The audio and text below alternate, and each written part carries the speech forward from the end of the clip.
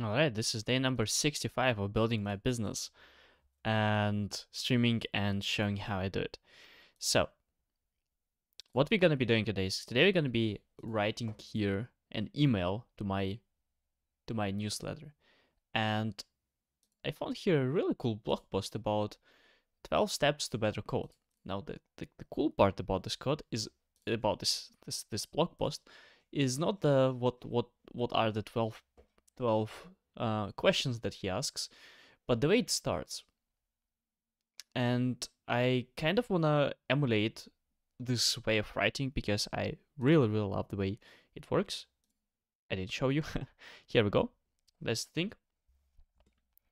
So I want to do this thing uh, today, write an email, and I'm gonna probably schedule it for tomorrow for my newsletter. And after that, um, I'm gonna see if I if we have time. Then I'm gonna probably spend time on um,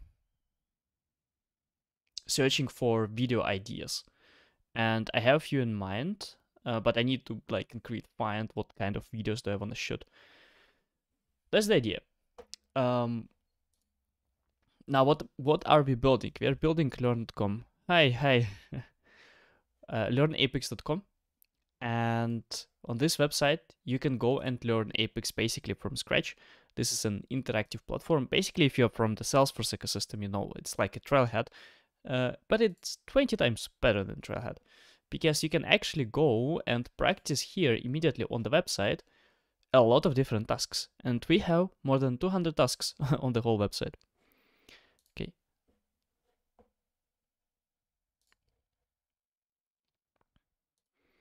Did you use messaging queue before in, in Salesforce?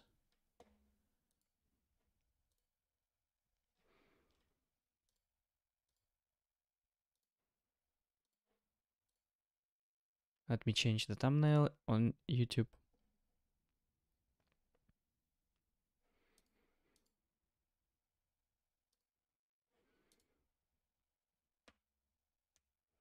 No, I didn't use it. I did not use it.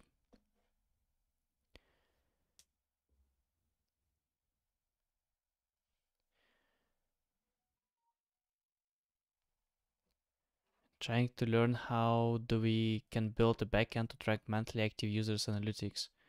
What do you mean in Salesforce monthly user? You can. Why do you need this information in Salesforce?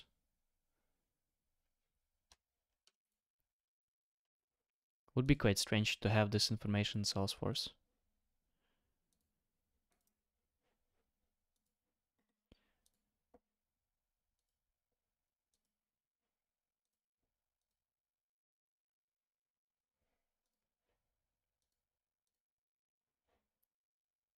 Okay. In backend Node.js, well, I have no idea about backend Node.js. I am I am a Salesforce developer, so you're very wrong here. Okay. So let's write here a little bit. Are you Russian? Nope, I'm not. I'm Ukrainian.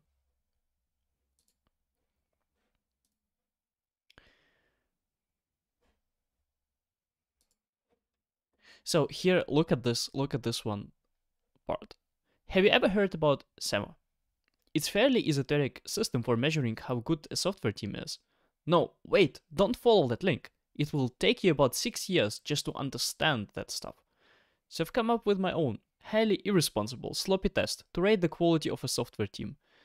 The great part about it is that it takes about three minutes. With all the time you save, you can go to medical school look, can you feel the flow? Can you feel the flow? Can you feel how nice it feels to read it? You have short sentence to the point. Uh, you don't have all the introduction, so you don't have hi, my name is Joel, and I am a founder or co-founder, developer with more than five. Blah, boring. No, have you ever heard about SEMA? It's a fairly esoteric system for measuring how good how good the software team is. This is awesome. This is awesome. It follows this this AIDA formula, right? AIDA. with a attention, interest, desire, and action. And that's the way of writing that I want to emulate. Let's see. So I from last time, from my notes, I have this thing that programming can be broken into steps and then understand the problem, determine how to save the problem in algorithm uh, in some form, in algorithmic form, and translate the solution into code, test and debug the program. The A to B, um, this is that's supposed to be A, and that's supposed to be B. Right? So this is this is what I wanna write in general about. So in general, I wanna like general idea, general idea. Uh, programming is just those steps. So this is just general. Oops, don't wanna save it. And just general idea of what I wanna write about in general. But I'm not really sure. I'm not really sure how should I start. I also want to start. I want to basically practice this thing. Have you ever heard of something?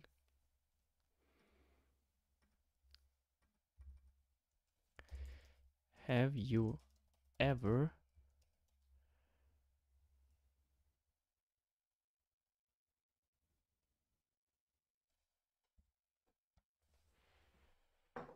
I mean, we don't have to start with this thing, right? But in general, what what should we start with? What should be what should be a hook?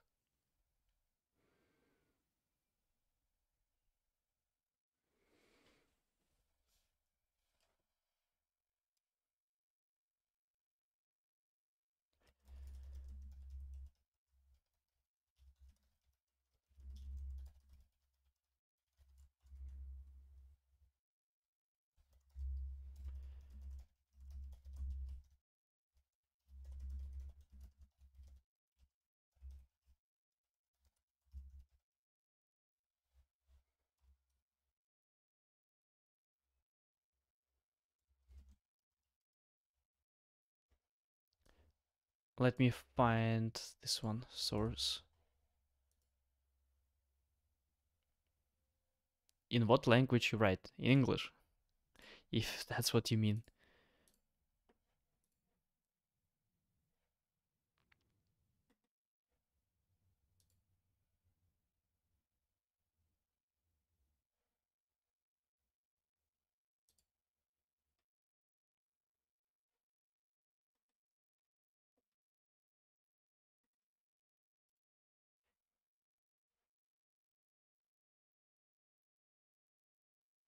I mean, programming language. Right, I try not to write a lot of code. This is this is the. I thought it's a it's an ad. I'm a Salesforce developer, so I write in Apex, usually. But the platform the platform that we developed, it's written in uh, Next.js. But I wrote maybe like five percent percent of the whole platform, if not less.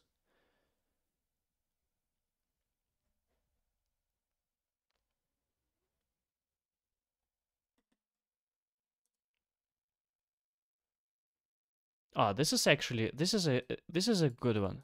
This is a good one. Can we turn novice into experts in a four-year undergrad program? If so, how? Okay, okay, okay. This is a good idea.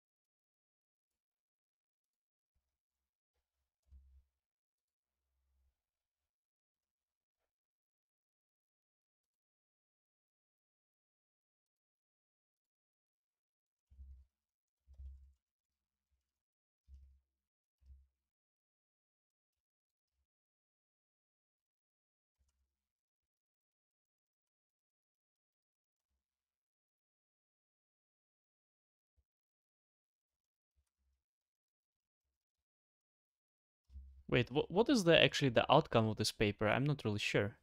What they I th- I think they I remember reading this this paper actually, and they they were speaking something like uh, it's it's kind of unclear.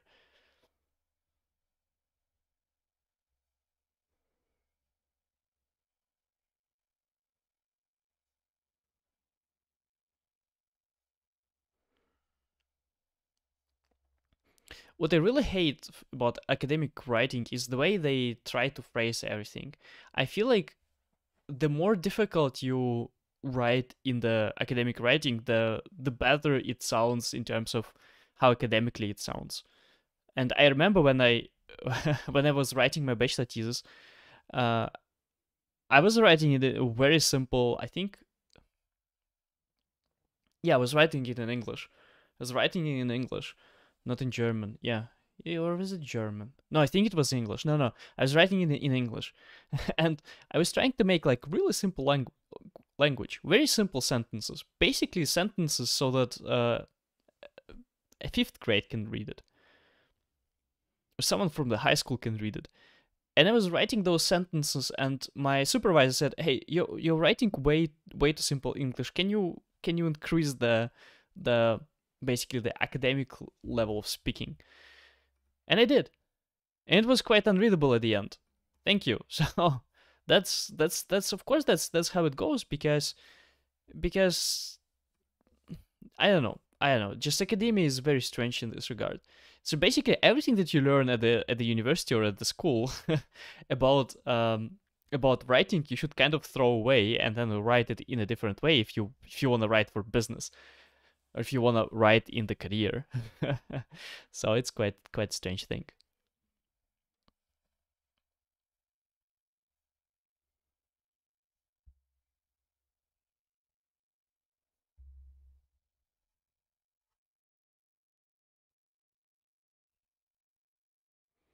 Novice versus experts. Various studies have concluded that novices lack an adequate mental model of, of the area, are limited to a surface knowledge of a subject, have fragile knowledge, something that the student knows but fails to use when necessary, okay, and neglect and neglect strategies. Okay, use general problem solving strategies, copy a similar solution or work backwards from the goal to determine the solution rather than strategies depending on a particular problem, okay. Tend to approach programming through control structures and use a line by line bottom up approach to problem solution. Okay. Most studies differentiate between a task, a goal with a known solution, and a problem, a goal with no familiar solution. Yeah, this is uh, actually that's interesting because it it also kind of yeah it, it kind of reminds me of what I'm doing because I would say I separate teaching teaching one topic. So let's say I wanna let's say I wanna learn LWC, right? So if you wanna learn LWC, first step that you need to do is to go and practice already known things. So basically you need to have a clear outline of what exact step steps do you need to do to accomplish a certain task. So for example, uh, I want to teach you LWC and I'm going to give you a table. And I'm going to say, okay, to, to create such a table, you need to do step number one, two, three, four, and five. And you're going to go and do those steps exactly like this. And you're going to have a table. This is kind of step number one in, in teaching. And once you do it often enough, you can move to the next problem where you don't really have a familiar solution. Uh, now, instead of actually a table, I I say to you, okay, uh, I want to have a table of, um, let's say, users in the system ordered by something. Uh, go and try to solve it. So you you're still gonna use a lot of elements from the last thing that we discussed, but you're gonna introduce new things, and you're gonna probably uh, run into a lot of new stuff that that we haven't discussed. This is the second step, and the third step is I I I tell something like go and develop a feedback a feedback form. Uh, something that that is completely out of out of scope. We have no we have never discussed it. but you could probably figure out based on the old knowledge based on the knowledge that you already have about lwc you can probably figure out those those new things that's usually the way i approach it like in these three steps and the first uh, basically what they say is that the first day is a task and the second one is a problem. And i can i totally see that that this this can work.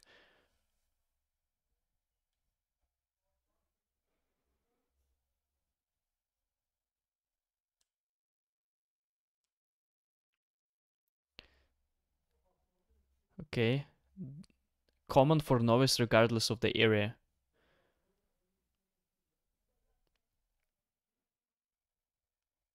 For example, fragile knowledge and neglect strategies are common in graduate students working in new areas.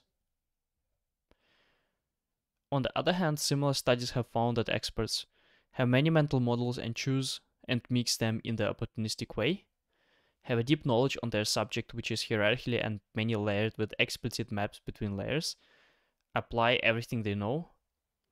When given a task a familiar area, unfamiliar in a familiar area, okay, work forward for the given and develop sub goals in a hierarchical manner. But given an unfamiliar problem, fall back on general problem solving techniques, okay. Have a better way of recognizing problems that require a similar solution, okay. Tend to approach a program through its data structures or objects, yeah. Use algorithms rather than a specific syntax this is um I think this is this is very important. One of one of kind of skills that I got as a developer that I was not expecting when I started is that I, I started thinking about whenever you, you get you get some kind of a problem, you immediately start having this step step by step algorithmic breakdown in your mind basically how you're gonna approach this thing. It's like, okay, I'm gonna do that, I'm gonna do that, that and that. Um, if you need to develop uh, let's say you need you have like a business problem. For example uh, when we create when we create a quote our sales managers they um, they use too many clicks and that slows them down. I immediately kind of know what steps do i need to take. It's just a matter of basically the bottleneck is typing on how quick i can get out those steps into an actionable plan. So i'm to say okay let's uh, can you can you walk me so i immediately know that i need to ask about walking me through this process so that i can see what steps they take. Uh, i then i know that i need to research what is already in the system. I need to to ask mm, other questions. I need to research what's in the system. And i need probably to also go and have a look at what already exists and then once i have those things i can already start coding I can already start like writing down the actual stories uh, stories and, and and so on. So basically all of these steps I'm, I'm kind of like just listing them out. It depends everything depends on what kind of problem are you presented with but you already get with the, the more experience you you get immediately like immediately the path outlined in your head. And this is something that that beginners really don't have. And as a beginner you most likely you will be able to kind of work around one solution or you probably will be able to find the solution but you don't have this map in mind. And this is this map is actually what comes with experience. So and you also kind of st- stop you're, you're, you're stopping thinking in exact apex terms. You don't really think about apex you think about uh, just the algorithm in general. So what is the algorithm? Okay, I'm gonna have this class, and this class gonna call that class, and that class is gonna perform a call out, and this call out is gonna return return me some result. Like you think in those terms rather than I'm gonna have a method that's gonna have parameters that's gonna uh, accept a list. No, you don't think about those things usually.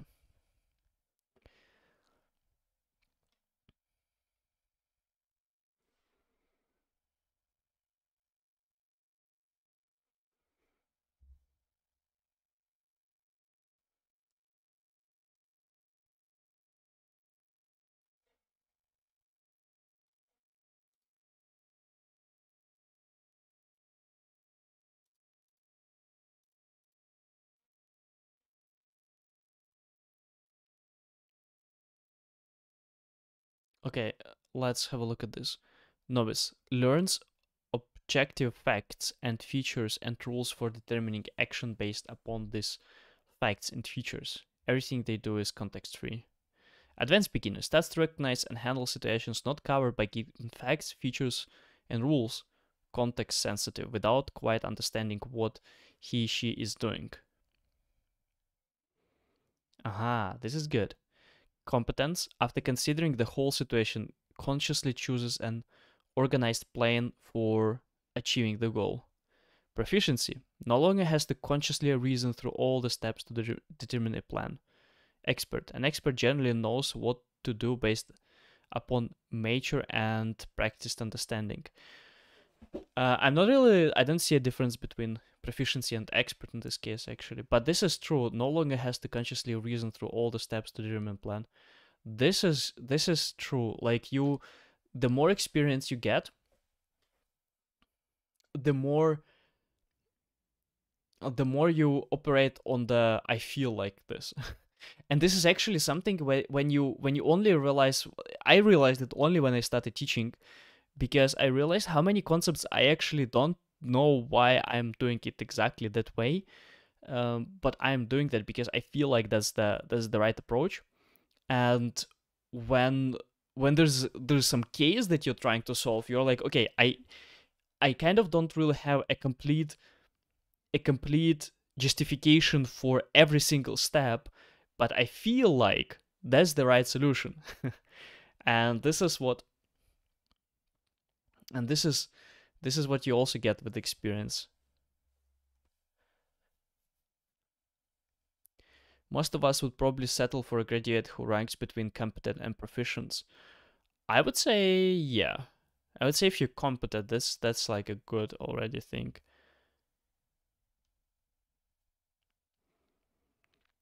Okay, rather than discussing a complete spectrum, Anderson presented three stages in learning a skill. Interesting, let's see. Apply very general problem-solving rules to the declarative information given the task. Combine task-specific and general rules into a single rule and or procedure and increase ability by practice. What? In, in, other, all, in other words, we begin by combining the new information with general problem solving techniques and advance to generating new task specific problem solving procedures. While this may be a new in psychology, mathematics pedagogy has used this process for generations. I don't really understand this process. What do you mean? Use different three-stage learning process for medical. Develop a way to represent necessary knowledge. Learn this question. Okay, I don't really get this.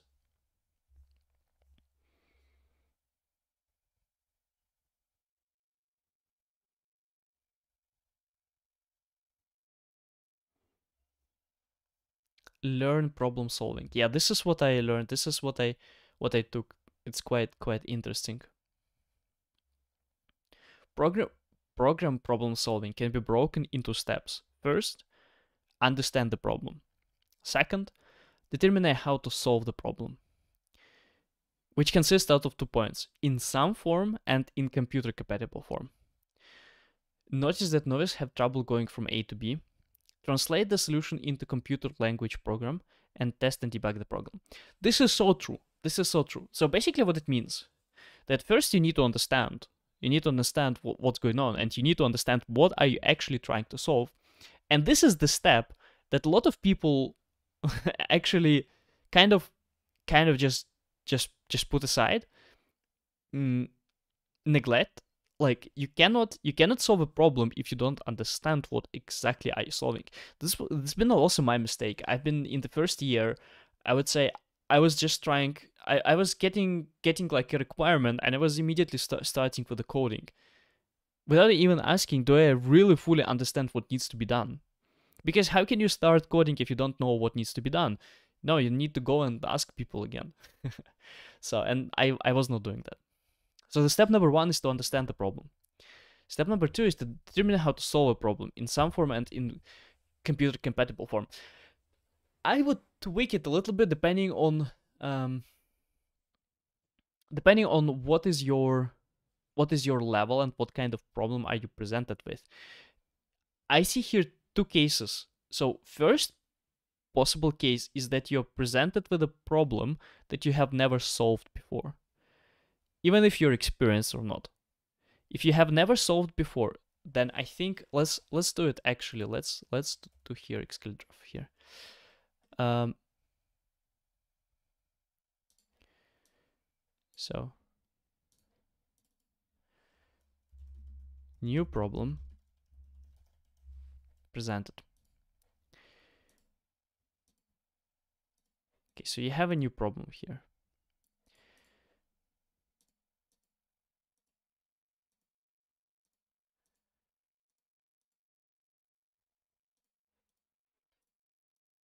New problem. Now,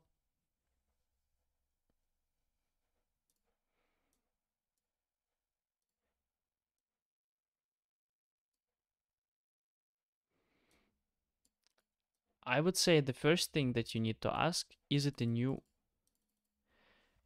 have you solved it before have you solved have you solved this problem before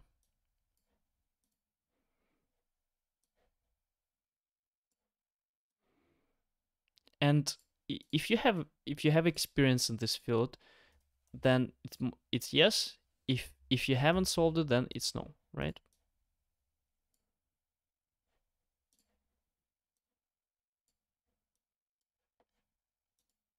like this.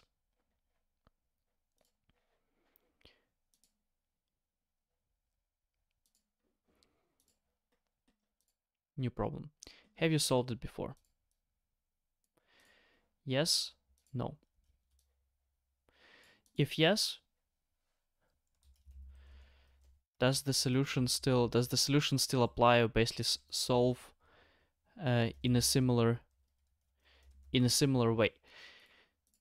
basically i mean then the, the it's not no brainer basically you can solve in a similar way and actually actually if you have a couple of years of experience or let's say if you have a year of experience this way it's to be the main way because the, there are there are like most problems with apex and lwc at some point they repeat themselves and if you're following if you're following my advice on creating a data bank uh, a database of problems that you have solved. So what you need to do is, as a, as a beginner, is go and create a database of problems that you have run into and you had troubles to solve. Uh, I don't know, maybe you had a particular trigger that was hard to implement, or maybe you had some kind of an interesting functionality for LWC, or you built up a DevOps pipeline, whatever. So when you progress through the career, like you have one year, two year of experience, you build up this database. Uh, obviously, it also compounds to your experience, and you will see that at some point most problems that's going to be presented for you to you they will be kind of a certain way of combination of the problems that you have solved already. So it's most likely it's going to be something something like this. And then with a new problem if you have solved it before or if it's a kind of a combination of the problems that you have solved solved before then you should just solve it in the similar way. If it's not then I would say you should go through a process of ideation. So you should go through a process of creating different different ideas how you can solve it. Uh, basically, this is a this is a process to research it, right?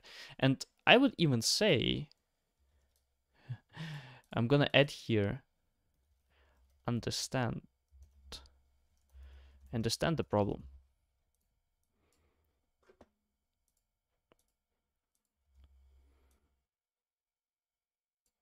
Even before you do all of that, you need to understand the problem. You need to understand. When you understand it, have you already solved it before? If no, you go through kind of um, kind of ideation. So you basically try to come up with multiple different ideas how to solve it. Not only one. And the and and, and the, the, the whole the whole plan behind this one is not because um is not because you wanna actually come up with like one solid idea that you're gonna be going for. No, you just you just need to basically throw into your brain different ways how you could potentially solve this problem. And the idea is just to present those those those ideas in into your head. Basically, kind of you're like throwing a few things into your head and and they start boiling there, right? They start uh, they start kind of like you start thinking, you start I forgot the exact term, but usually it's some kind of passive thinking. So you start doing some kind of passive thinking there, and after you go through through the ideation, then you go to those steps. Then you see how you can solve it. You choose basically uh,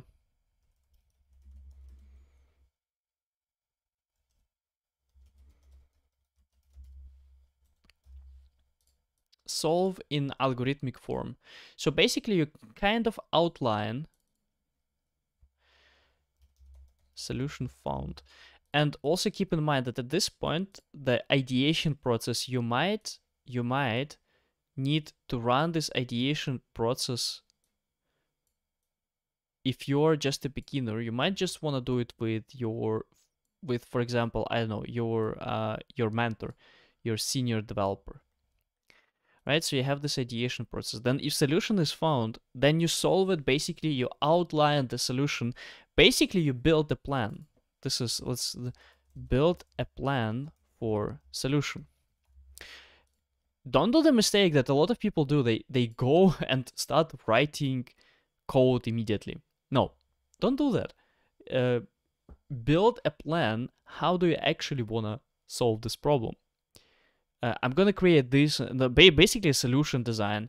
I'm gonna create those classes. I'm gonna I'm gonna have this class speaking to another class. I'm gonna have this this uh, for example with triggers, right? Uh, or I'm gonna have a tri- trigger. A trigger is gonna uh, call a trigger handler. A trigger handler is gonna call a service class, or a trigger handler is gonna call the actual functionality, and the functionality what I want will be written in the trigger handler itself. And out of there, I'm gonna have the call out immediately going from uh, within the trigger handler class, but with a specific method. Uh, you can do it like this, but don't start and don't rush into writing code because you need you need you need to build you need to build a plan you need to build a solution and only when you have this then you start writing write code but only then but this is you see how how long it took basically to go into the write code part. And there's and there's a reason behind it because this part of writing code is actually the easiest part. It's not the hardest part. Like the the job and the more towards career you progress, the less you're gonna be doing the less you're gonna be doing of this part and the more you're gonna be doing of this part.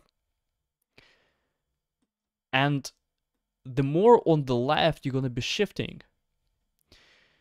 So usually if you're a senior developer, you're operating between those things here. Not here with a build a plan. Sometimes also build a plan, which is kind of solution design document that you get. But uh, but that's the that's the that's the way people should approach it. That, I mean, that's the way it worked for me very well. Uh, at the end of my, I mean, not at the end, but during my Salesforce developer career. That's the plan. Uh, don't don't go immediately from the problem immediately to writing code unless it's a part of have you solved it before or ideation. You might also just write down a little bit of code just to test out if it's possible. Because you might find, for example, uh, you you solved something similar with LWC. You know that uh, something similar, you probably have done something similar, but you don't know if this is gonna apply to your specific case. You can go spend like 30 minutes or maybe an hour, maybe a couple of hours trying to trying to actually write down if um, if if what you have actually matches the solution, and if it does, then you found the solution. That's the plan usually. that's the plan. Uh, and I hope more people follow this this approach instead of just going and immediately coding.